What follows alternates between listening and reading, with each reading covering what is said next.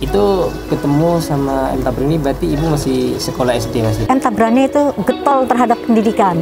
Sebetulnya rumahnya kakek itu yang ditempati M. Tabrani bukan di situ saja, bukan di Jalan Sersa Misro saja. Bayangkan mas, pada tahun berapa sebelum Merdeka M. Tabrani sudah menempuh pendidikan sampai jurnalis ya, iya. sampai di Eropa, di Eropa ya, iya, iya. di Eropa, di Jerman. Bayangkan iya. sebelum Merdeka nih ya. Assalamualaikum warahmatullahi wabarakatuh Sahabat saya Hafiz Kembali lagi dengan program kami Yaitu Madura Podcast Di sini kita akan berbincang dengan Berkesempatan untuk ngobrol langsung dengan Keponakan M. Tabrani Pasti kalian sudah tahu kan Siapa sih M. Tabrani yang beberapa tahun ini sering dibicarakan yaitu yang akan diusulkan untuk menjadi pahlawan nasional sebab M. Tabrani itu yang menjadi penggagas atau mengusulkan yang juga mematahkan argumen dari seorang tokoh juga untuk mengusulkan bahwa bahasa Melayu sebagai bahasa di negara kita tapi entah berani dengan teguh pendirian tetap mengusulkan bahasa Indonesia yang menjadi bahasa persatuan. Yeah. itu terjadi sebelum Indonesia merdeka sebelum negara ini ada mana yeah. masih masih berpecah nah, ini kami sekarang sedang bersama salah satu keluarga dan satu-satunya ya di di Madura di, di Pamekasan Madura. Di Pamekasan, iya. satunya di, di iya di Pamekasan Madura. Ya ini adalah keponakan M Tabrani dan dia namanya adalah Buratna. Buratna Sisilawati. Buratna Sisilawati. Buratna sendiri ini sebenarnya dari segi silsilah bisa diceritakan seperti apa?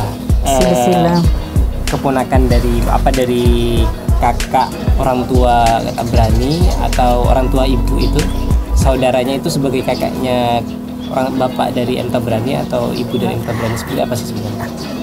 Adik dari adik dari bapak saya M Zain Ali Bidin. Iya. Sesaudaranya itu banyak adik-adiknya lagi, adik dari M Tabrani. Yang tertua itu Siti Aisyah, kemudian yang kedua bapak saya M Zainal Abidin, kemudian yang ketiga M Tabrani. Kemudian Suro apa Gani Suro Kusumo, Sirtu Laili, terus kemudian Alwi paling bungsu tuh Alwi Muhammad Alwi. M Tabrani ini di, di, di Pamekasan dilahirkan di Pamekasan pada tanggal 10 Oktober 1904 ingat banget sama tanggalnya ya. iya.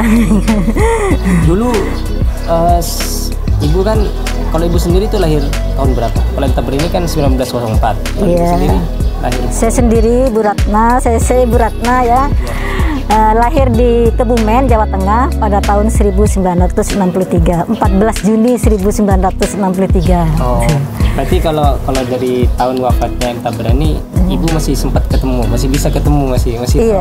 ketemu. Iya, di Jakarta. Oh, wafatnya di Jakarta. Di dikuburkan di Tanah Kusir Jakarta. Di Jakarta. Dulu sempat ketemu itu di usia berapa pertama kali ketemu sama M Yang ingat, yang ingat. Seingat saya waktu itu masih SD saya. Oh, ibu masih SD. Iya, masih SD. Iya. Ketemu itu karena keluarga atau memang sempat tinggal bareng? Itu ketemunya di mana? Enggak. Eh ketemunya di di rumah ini, di rumah kakek. Di Pamekasan. Iya, iya di rumah kakek di Pamekasan di Jalan Sersa Misrul nomor satu yang saya tempati. Sekarang ini Iya, tapi sekarang saya sudah pindah di Jalan Veteran. Oh, iya. Itu ketemu sama Entah ini berarti ibu masih sekolah SD masih? Iya, masih kecil waktu masih, bapak masih ada. Masih ada. Dulu saat ketemu itu seperti apa? Apa yang yang sering dimainkan? Apa yang sering pendidikan yang diberikan juga yang dicontohkan sebagai uh, seorang sepupu yang lebih dewasa? Iya.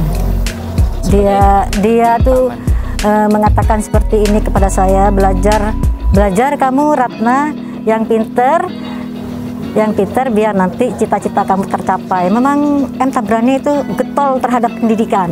Getol saya getol sekali. Kakek juga gitu. Hmm. jadi mengutamakan pendidikan. Mengutamakan pendidikan. Iya. Saya sendiri juga gitu. Jadi seperti anak saya yang pertama itu di kedokteran hewan ya iya. Universitas Erlangga.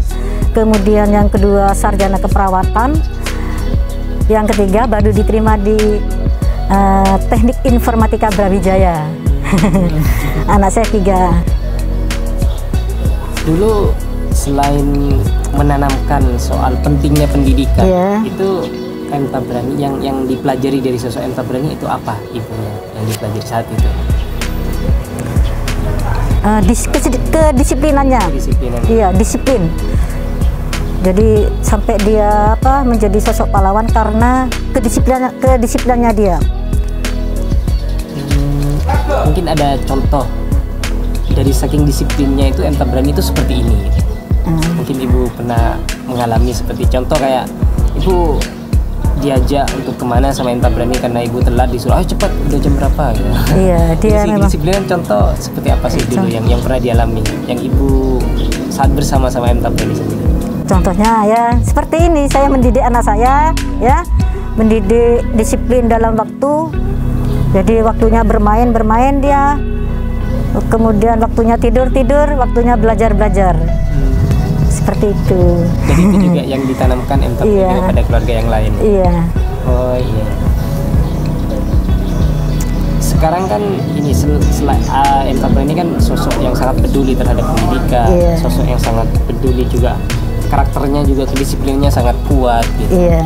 Ah, sekarang ini kan isu-isunya adalah sedang diusulkan beberapa tahun ini diusulkan untuk jadi pahlawan. Keluarga itu mendengar bahwa itu akan diusulkan sebagai pahlawan nasional itu kapan? Nah, Ibu sendiri yang mendengar itu kapan? Sekitar tahun 2018-19 gitu. 2018 sampai Iya. 2019 itu. Iya. Saat mendengar itu seperti apa? Saya Dengar- sendiri. Dengar iya, Iya. dengar langsung atau dengar dari media atau Medik. Ini dari mana itu? Dari Balai Bahasa Sidoarjo itu mencari saya karena saya bertempat tinggal di rumah kakeknya, orang tuanya M Tabrani. Jadi dia mencari saya. Sedangkan di sana sudah apa namanya? Sebagian sudah terbongkar karena sudah terjual rumahnya. Sebetulnya rumahnya kakek itu yang ditempati M Tabrani bukan di situ saja, di bukan di Jalan Sersa Misro saja. Eh, punya tanah juga di Jalan Sirsa Misro tapi agak ke sana. Kemudian di Teja juga punya hektaran kakek saya tanahnya banyak. Memang kakek saya itu kaya memang. dulu ya? Iya. Jadi rumahnya dulu yang saya tempati itu sebelahnya itu rumah tingkat marmer semua. iya. Makanya dia tuh eh, pendidikannya sampai ke luar negeri karena kakek kaya. Oh. Bapak saya juga eh, pendidikannya di luar negeri. Semuanya saudara-saudara lainnya juga pendidikannya di luar negeri. Mhm. Kaya memang. Iya, iya. Jadi pada kan bayangkan Mas, pada tahun berapa sebelum merdeka M Tabrani sudah menempuh pendidikan sampai jurnalis ya. Iya. Sampai di Eropa, di Eropa ya. Iya. Di Eropa, di Jerman. Bayangkan sebelum merdeka nih ya. sebelum merdeka. Merdeka tahun 1945 kan? Iya. Jadi dia sudah ke mana-mana ke Eropa, ke Jerman, menempuh pendidikannya sampai tinggi. Makanya eh, saya mengajarkan kepada murid kejarlah ilmu sampai ke negeri ne- ke negeri Cina seperti itu. Jadi anak saya walaupun sudah dokter hewan, sudah profesi dokter suruh saya lanjutkan lagi ke S2 kedokteran hewan di Universitas Erlangga. Em, setelah mendengar itu di keluarga sendiri seperti apa gitu reaksinya ketika mendengar akan dihubungi untuk, untuk kan dihubungi bahwa Untuk akan menjadi- diusulkan untuk jadi pahlawan nasional itu seperti apa? sangat berterima apa sangat berterima kasih sekali mengingat apa keluarga besar eh, Suradi Suradi Surowi Citra itu kan orang tuanya M Tabrani Iya. jadi sangat sangat senang sekali pemerintah bisa mengingatkan jasa-jasa dari M Tabrani Tabrani anak dari Suradi Surowi Citra Hmm, senang sekali senang ya. senang sekali saya juga senang sekali Itu tindak lanjut setelah yang tahun 2019 dan atau 2018 itu yang, iya yang menemui ibu ke sini untuk Iya. masalah untuk diusulkan itu. Setelah itu ada pertemuan lagi nggak membicarakan? Eh, di Jakarta, Di Jakarta. di Jakarta.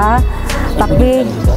Iya, tapi saya kebetulan nggak bisa hadir, jadi saya minta tolong kepada mbak saya yang di Jakarta, ya, yang di Jakarta. Jadi, menteri-menteri pendidikan mungkin yang dah hadir ke tan ke makam ke makam Entabrani di Tanah Kusir itu. Kemudian mendapat penghargaan penghargaan tak apa berupa apa saya sendiri tidak tahu ya. Jadi sudah mendapat penghargaan dia jadi yang dihadiri menteri pendidikan kemudian dihadiri siapa lagi itu? Ada fotonya. Oh, yang, Iya. yang saat uh, itu tahun berapa yang tindak lanjut itu? Setelah yang ketemu yang tahun 2009. sekitar ya sekitar 2000 iya di tahun itu juga. 2019 iya 2019 mungkin iya Oh,